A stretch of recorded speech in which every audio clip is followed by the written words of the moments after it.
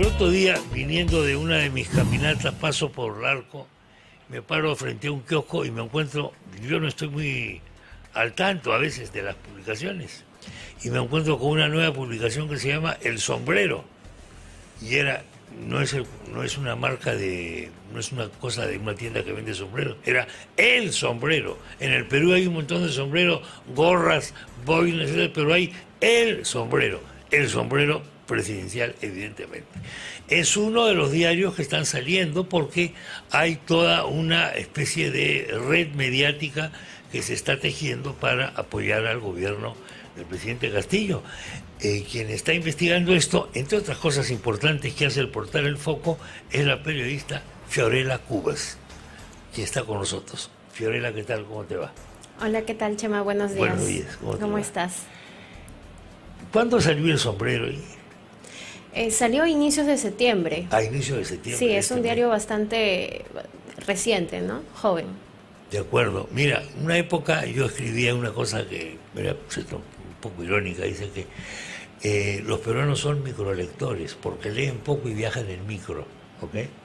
Entonces yo dije que los tabloides tenían que tener un tamaño de letra suficientemente grande como para que pueda ser vista por la ventanilla del microbús en el que tú viajabas.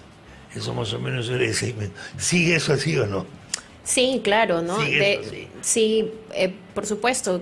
Em, quizá lo principal de estos diarios es ubicarse en dimensiones muy similares a diarios tradicionales, ¿no? Como, digamos, La República, ¿no?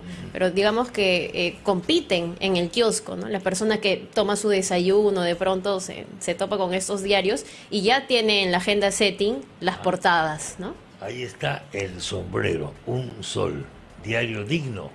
¿Por qué, por, por qué dirá digno? ¿A, a- a qué alude eso de, de digno?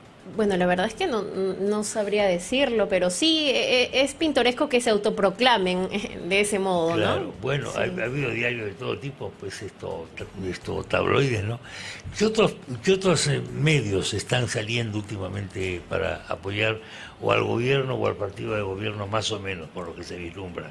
Sí, mira, el diario El Sombrero e- es, este peculiar porque su periodicidad es de todos los días, ¿no? Diario. Pero también días. hay semanarios, ¿no? Por ejemplo, el Puca, ¿no? Ahí que sale una vez a la semana y El y el director eh, es el señor Taboada, quien es un activo militante de Perú Libre. En el caso del, del diario El Sombrero lo dirige el señor Jorge Paredes Terry, alguien que siempre ha estado en Hombre, esferas Claro, pues. políticas, claro. así es, y, y pues este, eh, él incluso registra reuniones en la PCM Sí, ba- sí, muy sí. recientes, ¿no? Eh, de otro lado, por ejemplo, el, el diario El Gobierno, ¿no? Eh, perdón, el diario Calderón, Calderón, sí. ajá, sí. También lo dirige el señor Luis Calderón, que quien acompañó en plancha presidencial a Vladimir Cerrón, ¿no? Eh, en las elecciones Y el anteriores. diario es un, se llama como su nombre, Así es, sí. Hombre. Sí, sí, sí. hombre. Entonces, este, no, hay un patrón, hay un No patrón de, de conexiones poco sutiles, ¿no? Y, y sin animadversión de, de querer Sí, cuestionarlo. No, tampoco no se trata de quitarle el pan acá a la gente que chapea ahí, por, por si acaso. No, claro que. No. El tema está en que hay algo especialmente eh, suspicaz, que Sí. fue lo que llamó la atención de nuestro equipo de investigación, a ver, ¿no? sí. Es el hecho de que uno de los asesores del presidente es un joven llamado Mauro González Correcto. quien se atribuye eh, la victoria del, del hoy eh, mandatario porque hizo una estupenda campaña en redes.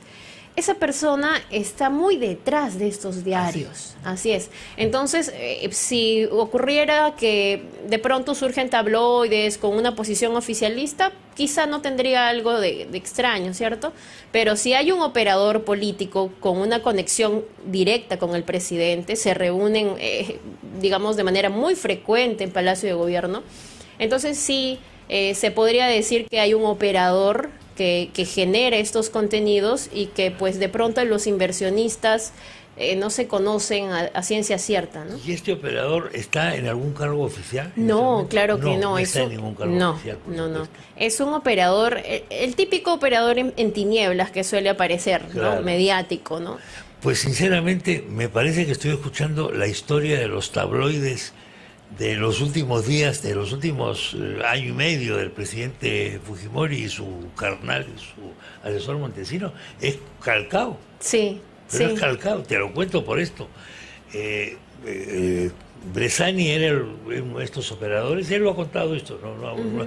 Yo le hice una entrevista en su casa a Bresani y me contó cómo redactaban los titulares Con Montesinos, de estos días, claro, Claro. cómo redactaban los titulares de esto y mandaban los titulares, pues. Pero era una cosa rutinaria ya, ya no era de asombro, sino era una cosa rutinaria y a fin de mes su, su plata, ¿no? Su, su Así. pago, que había de todo, ¿ah? tal vez al- algunas muy modestas, de- debo decir, ¿ah? otras más caras, pero en fin, así era, es exactamente igual, me da la impresión. Sí, sí, e- es este especialmente suspicaz porque como sabes, ahora hay un proyecto de ley en cuestión, ¿no? Que pretende dividir la torta publicitaria en un 50%. Ahí está. Entonces, ahí está el este, quid de la cuestión. Claro, entonces, eh, si bien no sé si las coimas se están generando eh, como en esa época, ¿no? Pero de por sí hay una expectativa de, de inversión. De inversión. En Ahora, hay sí. inversionistas que de repente quieren apoyar al gobierno por X razones, ¿no? Esto, en algunos casos puede ser por desinterés, no sé. O puede haber un millonario que está mal de la tutuma y, y puede aumentar una red de periódicos, pues y no va a ganar nada. Podría ser. Sí. Me parece que no es el caso, por lo menos no se conoce esto, pero en fin. Sí. eh, nos podemos encontrar con todo tipo de sorpresas, ¿no? Eh, pero lo, lo que pareció este, sorprender un poco al equipo de investigación del Foco Sí. es que no solo hablamos de diarios ya, Chema, o sea, como has podido hacer esa analogía, ¿no? Que- Claro, que época, obviamente nos trae remembranzas, sí, pero ahora también ya se viene, hay un proyecto hasta de televisión en ciernes.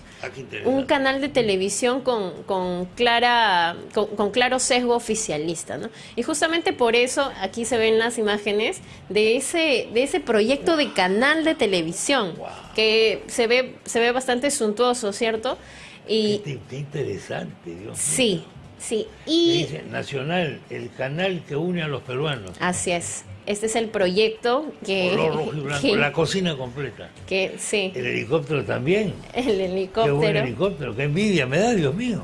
Sí, sí, parece ser, este, parece tener un, un- digamos que un, sos- un, sos- un sostén bastante... Un poco mejor. sí, digamos, que los, que los y- diarios son más baratos. Detrás de este proyecto está el empresario Luis Alfonso Morey, Sí. pero está junto con el señor Mauro González, que es este joven que es el asesor del presidente Castillo.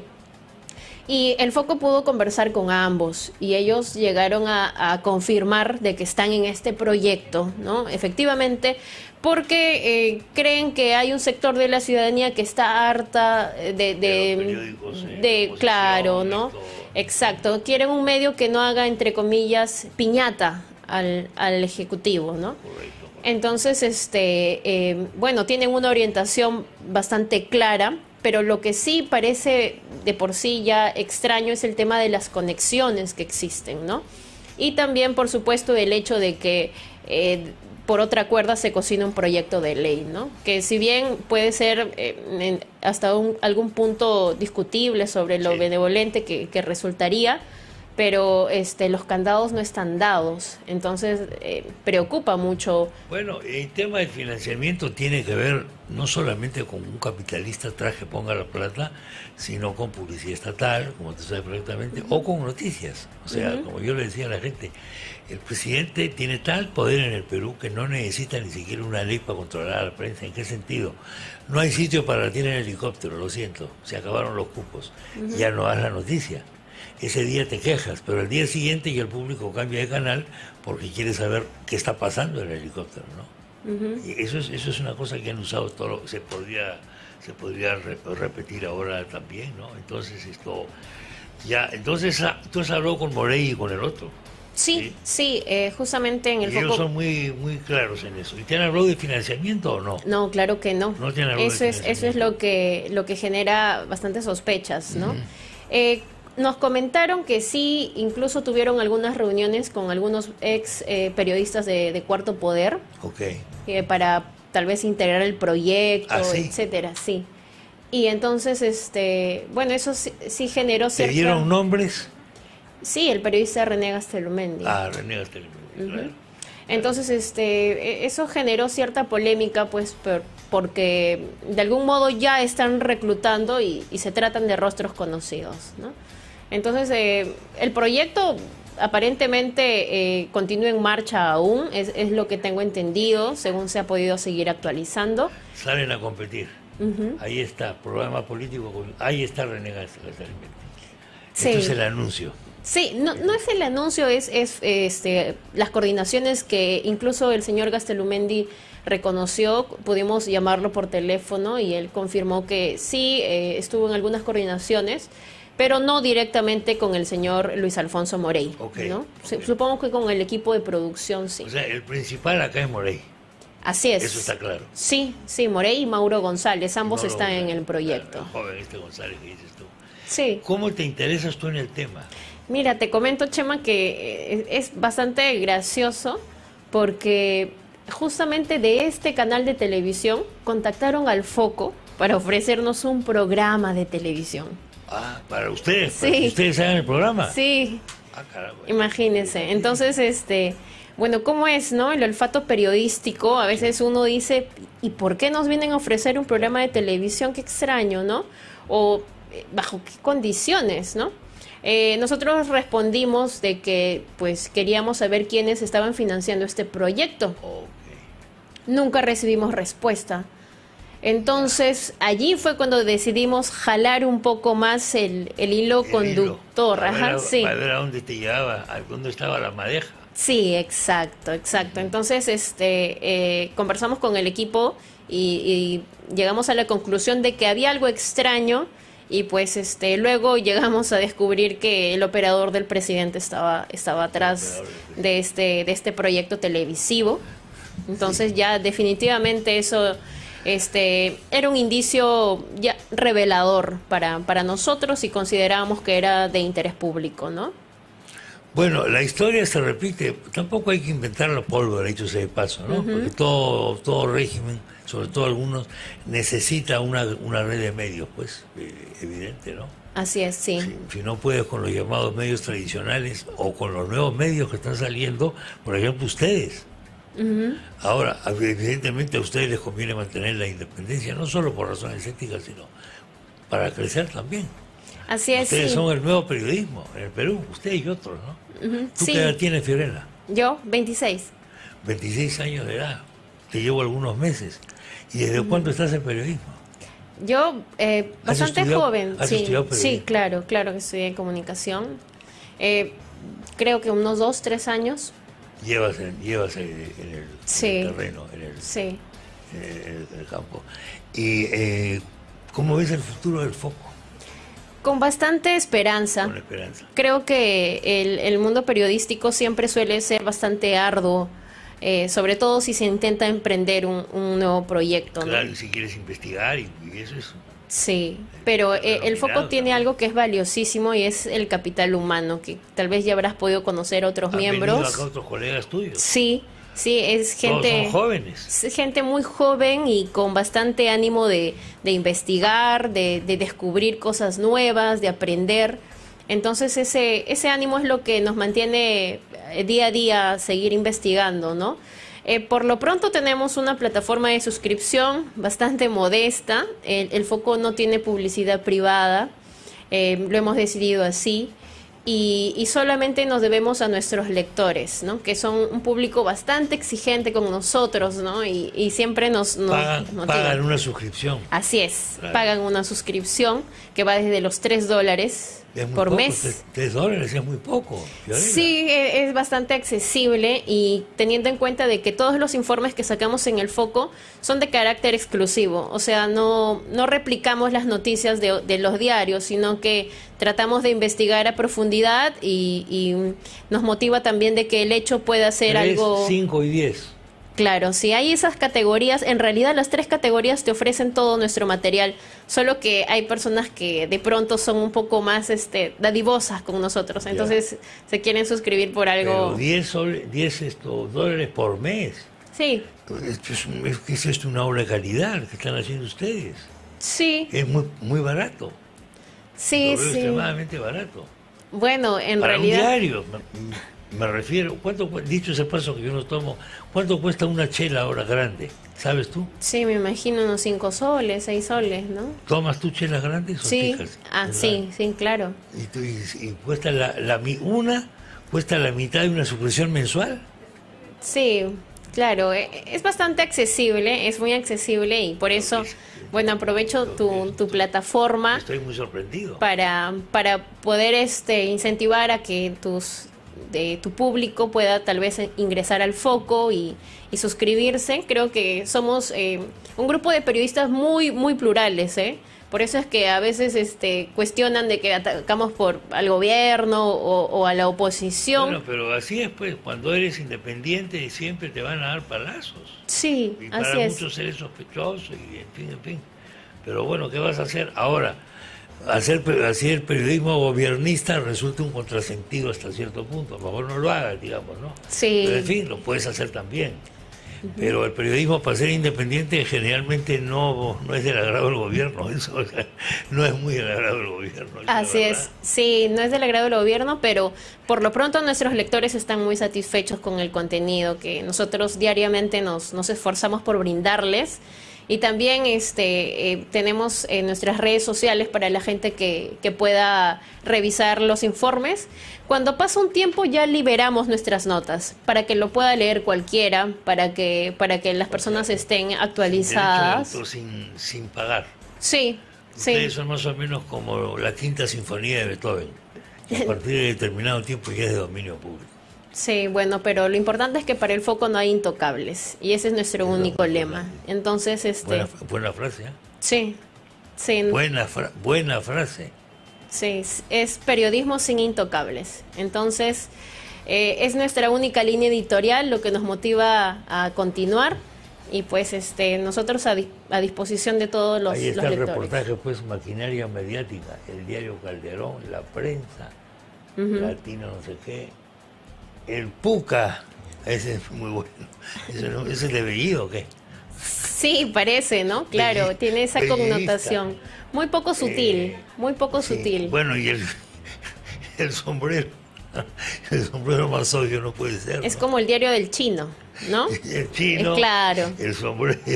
Tienen un programa de radio que se llama Palabra de Maestro. Claro. Entonces, este, sí, es este. Oye, el chino sigue saliendo. Creo, Creo, que sí. sí, creo que sí, pero ya Pero este, otra- otro- no, no sé. Otra, otra cosa ya, ¿no? Así es, sí, eso es verdad. Había la Chuchi también una época, ¿tú has visto ese diario? Sí, claro, claro, ese es- era eh, de la época de- del De fujimorismo, época, ¿no? ¿no? De Claro, de, de esos diarios, sí. Ahora, bueno, hay, hay Te similares, recomiendo ¿no? que leas un libro de Juan Garurevich, Ujú. que es la historia del, periodismo sensacionalista en el Perú. Habla sobre el diario Última Hora, un libro ejemplar que todo periodista joven creo que debería leer. Explica cómo nace Última Hora, que es el primer tabloide, digamos, de eh, tipo popular. Por supuesto existían otros diarios en el Perú, existía La Crónica, ¿no? Sí, sí, Pero sí, Última Hora es el gran periódico que era el, el subproducto de la prensa. claro. Más o menos la relación Trome, el comercio, era Última Hora, la prensa, la prensa de don Pedro Beltrán.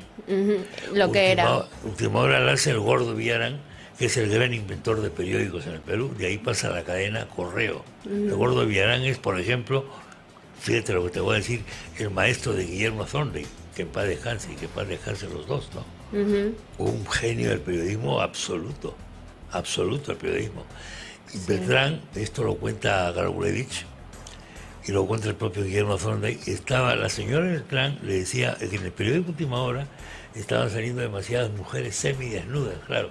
Ser semidesnuda en aquella época era mostrar la, mostrar la rodilla, ¿no? Ahí está la chuchi, ahí está la chuchi, muy bueno.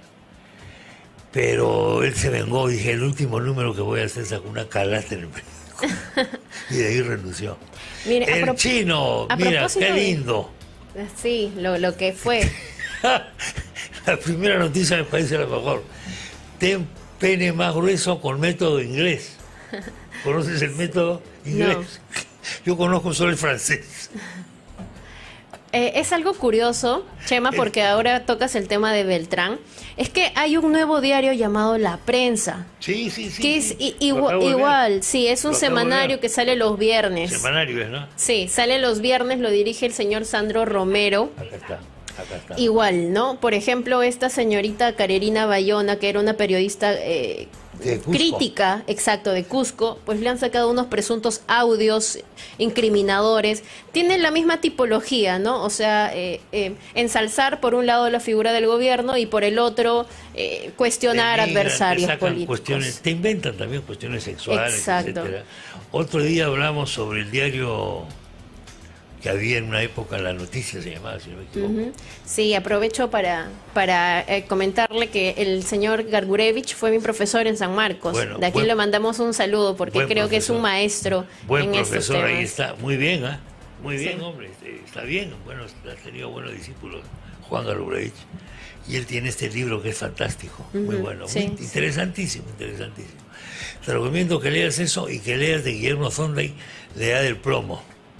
Ha circulado poco, lo sacó la Universidad San Martín de Porres. Hay algunos ejemplares. La Edad del Plomo es Zonday y Grado Bertolini en la prensa de Pedro Beltrán. Es en realidad el elogio de Grado Bertolini, el que fue ministro de... Él fue un periodista, fue muy notable, jefe de redacción de la prensa. Y cuando Thorndike ingresó ahí como practicante, fíjate, estoy hablando de la cumbre del periodismo, le mandaba a comprar cigarrillos. Y este es el momento cumbre del periodismo de Grado Bertolini cuando intentan presionarlo para que no publique una noticia vinculada a una gran figura de la sociedad y de las finanzas peruanas. Y él lo saca en primera plana. Lo saca en primera plana. En fin. Pues qué interesante esto. La verdad, esto da para unas conversaciones hoy estupendas, pero eh, tú sabes cómo es esto. Con todo el equipo valdría la pena hacer hoy día una, una conversación, ¿no? Esto porque es muy importante lo que ustedes están haciendo, me parece a mí. Yo he sido siempre, y hasta ahora, un poco desconfiado o medio medroso con el tema de Internet y esto, pero me doy cuenta de que cosas como la de ustedes me demuestran que yo estaba totalmente equivocado, como en casi todas las cosas que he hecho en la vida, menos esta, esta no. Muchas gracias, Fiorella. Gracias a ti, Chema. Saludos a los muchachos del Foco. Bueno.